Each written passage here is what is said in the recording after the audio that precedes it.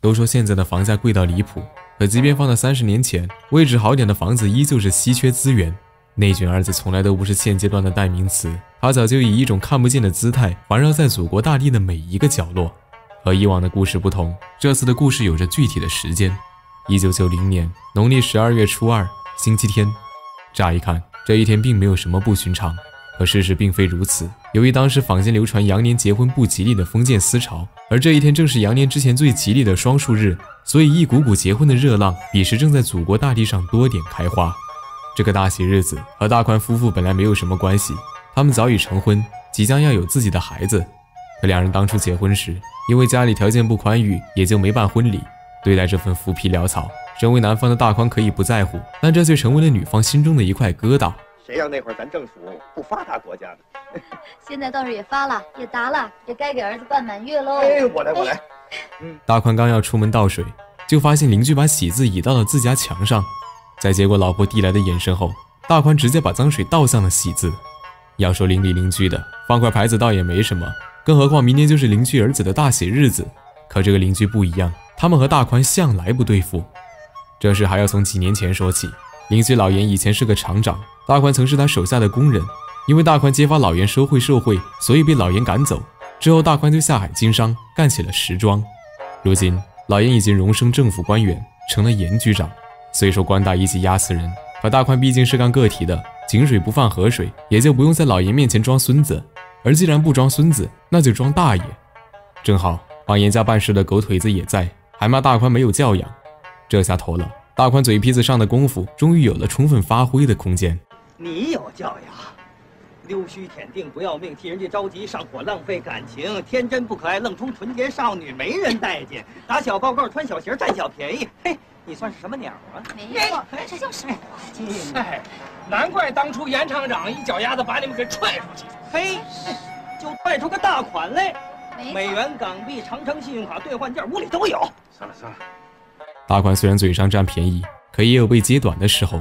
当大款自信满满的提到自己即将出生的孩子时，也算是给了狗腿子画饼。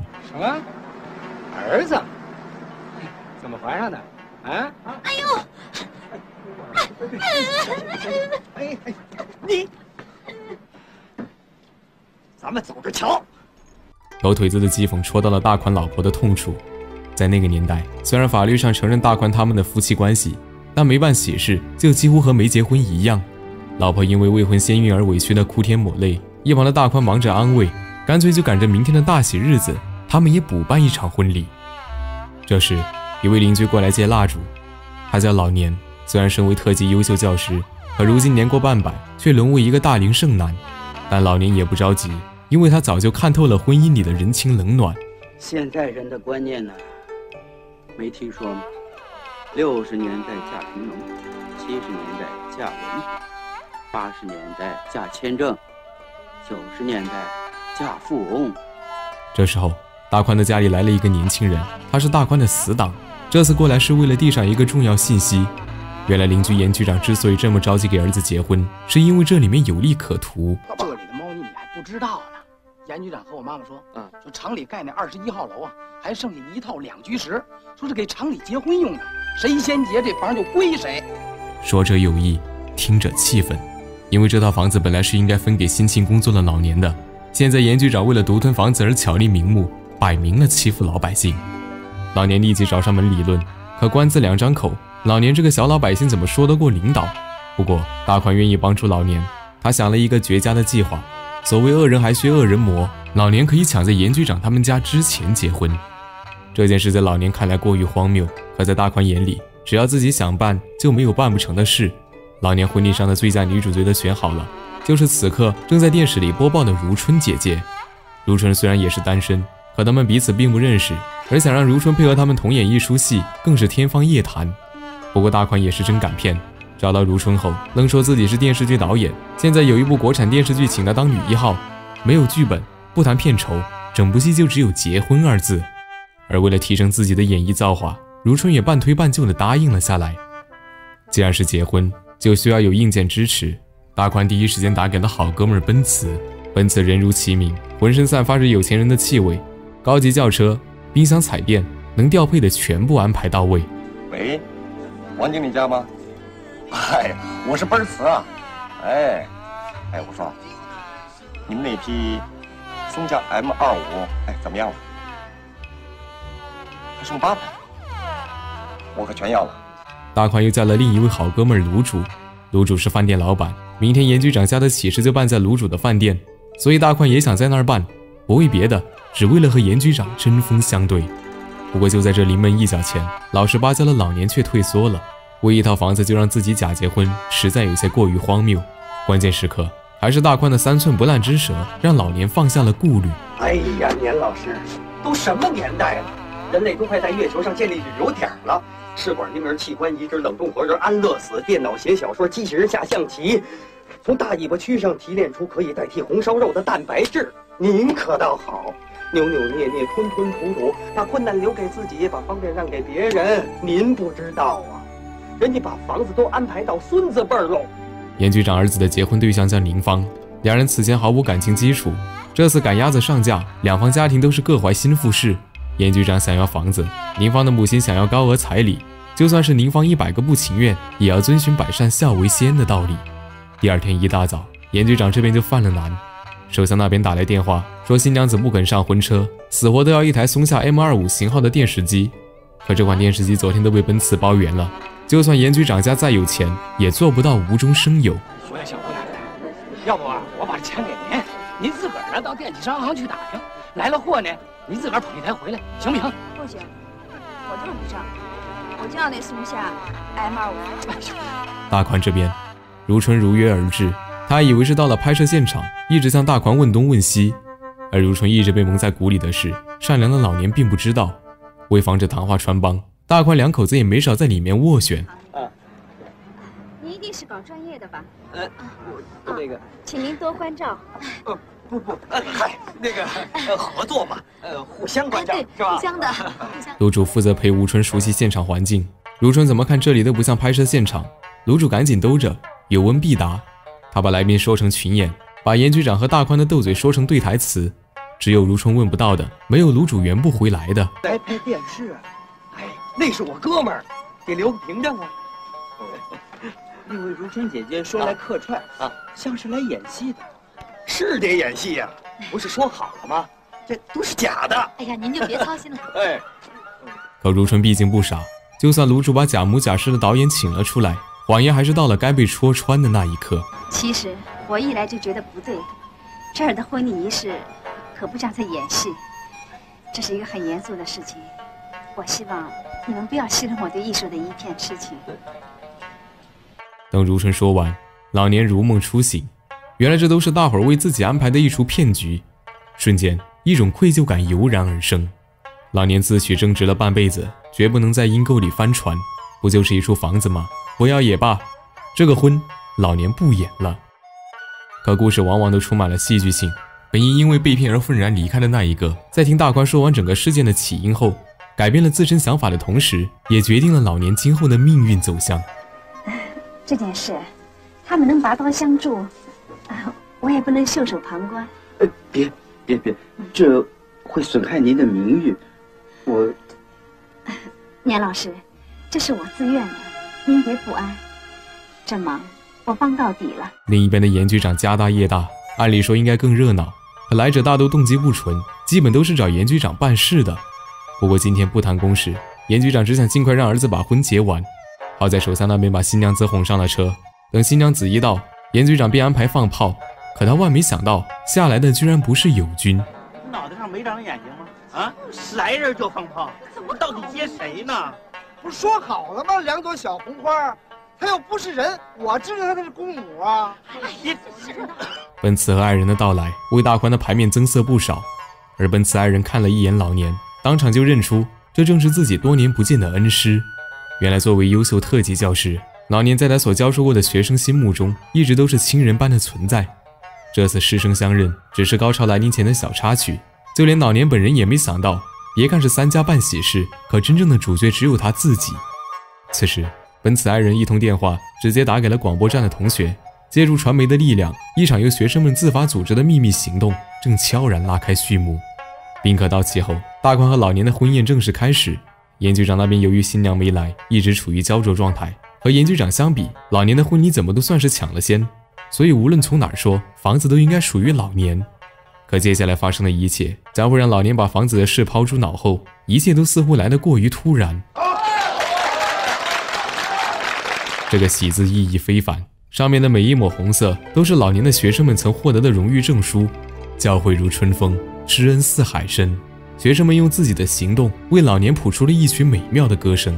这满眼的桃李芬芳，让老年的双眸瞬间噙满泪水。如果说天底下有什么是钱买不来的，那颗诲人不倦的赤诚之心，便绝对能够入选。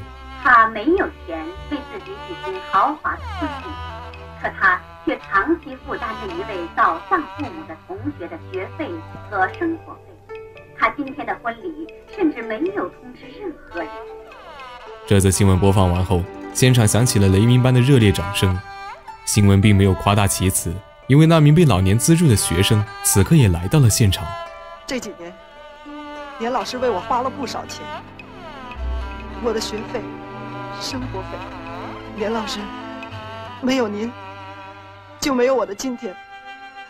今天您结婚，这是我送给你结婚礼物。一枚金牌。什么金牌？国际数学奥林匹克竞赛的金牌。好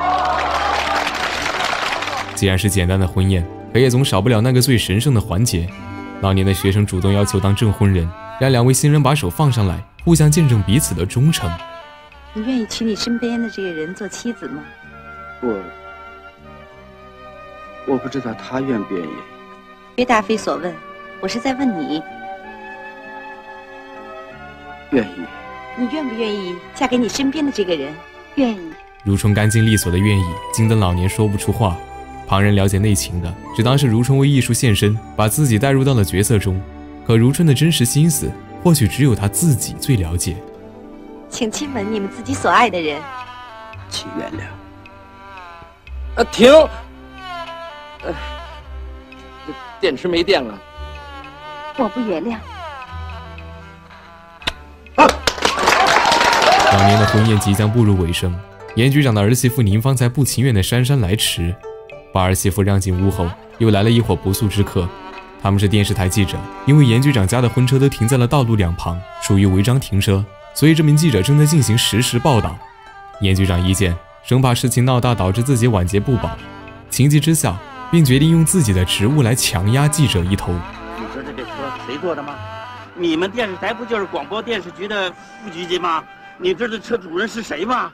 你们的业务领导啊，我我跟你说，我们的宣传报道方针是党中央直接制定的。严局长的强势没有压倒对方，反而是严局狗腿子的谄媚怪笑，让记者不情愿地收起了刀。外面没有新闻，不代表里面没有。记者进来后，直接把话筒对准了这对貌合神离的小夫妻。你们结婚用的钱是自己攒的吗？嗯，都是我爸跟我妈操持。傻死了算，心眼这么实诚，你感觉幸福？接下来到了拜天地环节，就在这时，门外来了一个身穿军装的年轻人。虽然相隔很远，可宁芳还是一眼就认出他，他才是宁芳真正的意中人。面对宁芳的婚礼，意中人为了成全爱人的前途而放手，可宁芳却要为了真爱而猛追。所以在谁都不知道的情况下，宁芳逃婚，严局长家的婚礼瞬间乱作一团。而不止严局长那边乱，大宽一家也出现了意外，他的老婆居然要生了。眼下只能把存货的仓库当产房。业余的如春管接生，情急之下也顾不了这么多了。另一边，宁芳正穿着婚纱在大街狂奔，只为追上那份来之不易的情比金坚。眼见意中人的车就在前面，为了赶上他，着急的宁芳只能拦下一辆邮递车。哎，大哥，您就让我上去吧啊！我们可有规定，邮件车不能拉人。那，大叔，我我求求您了，大叔。这不行话，做点好事，上。我先我先坐，别放邮件啊！新娘子一跑，严局长家瞬间脸上无光，尤其是严局长的儿子，更是摆出一副窝囊的受气包表情。有人忧愁，也有人欢喜。大宽的老婆那边顺利生产，听到这个消息后，大宽激动的情难自已。见新娘子跑了，严局长家这边人走茶凉，宾客还没吃饱都纷纷离开。而就在这个愁云惨淡的时刻，一个谁都没料到的好消息从天而降，新娘子居然又主动回来了。怎么一会儿我我就回来。啊，谢谢您，谢谢您。哎呦，您真把新娘子给我们拉回来了。不过，并非是宁芳自己想回来，而是邮政公司此刻正在执行投递任务，恰好终点就是这个饭店，所以才一同把宁芳物归原主。邮政公司要给的快递是老年的，然而一件快递，老年一头雾水，自己明明什么都没买，而老年不知道的是，这便是他从前的善良和敬业所为他买好的康庄大道。年望秋同志，今闻您大喜临门，故以特快专递方式将钥匙赶送给你。这是经市政府研究决定，批给您的我市特级教师三室一厅的房间钥匙，请您于十二月二十八日前携户口到房管处办理住房手续。特向您道双喜，市长周日接待办公室。好。拿到钥匙的老年受宠若惊，房子虽然到手了。可他知道这一切都是假的，而当老年把顾虑和大家分享时，如春的一句话打开了老年的心扉。我们这是在演戏？不，他们才是在演戏呢。真亦假，时假亦真。老年这场假戏不白演，既有了房子，又有了妻子，最重要的是，多年的教育事业终于开花结果，桃李芬芳。而以上的这些，都不是他位高权重的严局长。能用钱买来的。高朋满座上映于一九九一年，是建党七十周年的献礼片。影片借助一场荒诞的婚礼来讽刺当时的官僚体系下以权谋私的社会乱象。虽然故事本身经不起推敲，可里面所传递出的价值信息却值得每一位观众引以为戒。心直口快的大宽，春风化雨的年老师，温润如玉的如春姐，财大气粗的奔驰哥，贪得无厌的严局长，趋炎附势的狗腿子。所谓你方唱罢我登场，这一张张脸谱铺成的繁华社会的众生相，他们都赤裸裸地被展示在荧幕中，供观众点评、嘲讽，却也都活生生地存在于现实里，是我们的朋友、亲人、知己、同事等等等等。虽然是三十年前的影片，可当时里面人物的心态、生活的广度，与我们当下所生活的环境相比，都有过之而不及。穿上了体制外衣的官僚也能如此惺惺作态，掌握了谋生出路的百姓也能敢于趾高气扬。无论是大款、老板、个体户，还是无业游民，人都应该活得有血有肉，充满尊严。如今，社畜、躺平、内卷这些自嘲成了我们挂在嘴边的口头禅。前脚一句后浪，不知遭到多少人的吐槽；后脚一个 PUA，又不知换来多少人的共鸣。头还没秃，只可惜种种压力让自己先颓了。所以，除了老年外，那个敢于逃婚去追逐美好幸福的宁芳，也是值得赞扬的，属于生活的勇者。一目十影，与你共赏经典。喜欢的朋友别忘记点个赞。我们下期再见。